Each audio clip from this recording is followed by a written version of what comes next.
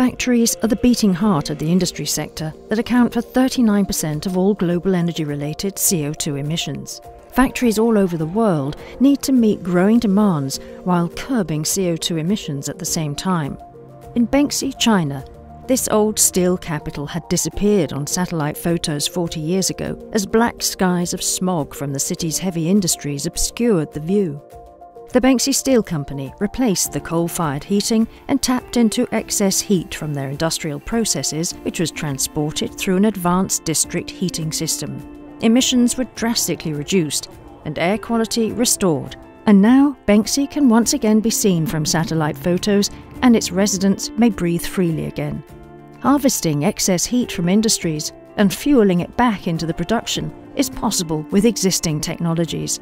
Imagine the potential when this is applied globally at scale.